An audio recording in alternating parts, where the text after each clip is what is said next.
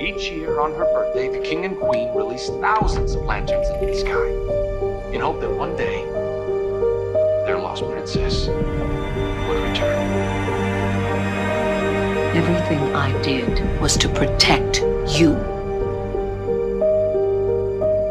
Can I go outside? The outside world is a dangerous place, filled with horrible, selfish people. You must stay here, where you're safe. Do you understand, Flower? Yes, Mommy. I should have been hiding from you.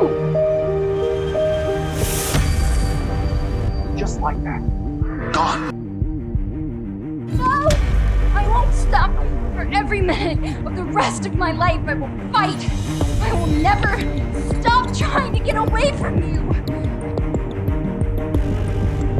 Rapunzel? Rapunzel, what's going on up there?